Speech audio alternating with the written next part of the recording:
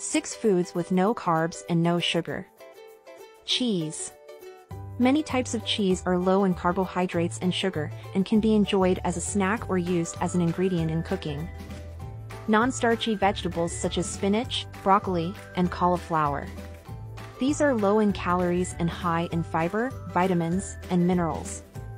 They do not contain any carbohydrates or sugar.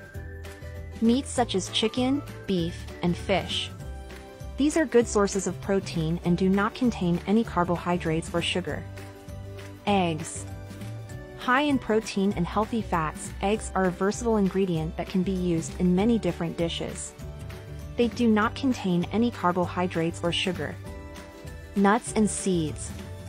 These are rich in healthy fats and protein and can be eaten as a snack or used as an ingredient in cooking. They do not contain any carbohydrates or sugar. Avocados. These are a good source of healthy fats and are often used in guacamole, salads, and sandwiches. They do not contain any carbohydrates or sugar.